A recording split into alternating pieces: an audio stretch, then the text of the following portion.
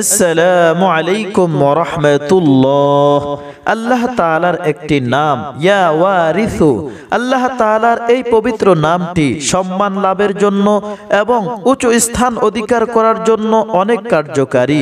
যদি কোনো ব্যক্তি উঁচু মাকাম অর্জন করতে চায়, উচ্চ স্থান অর্জন করতে চায়, সম্মান লাভ করতে চায়, তাদের জন্য আজকের এই ওজিফাটি ওজিফাটি কীভাবে করবেন? প্রতিদিন পাঁচ ওয়াক্ত নামাজ আদায় করবেন।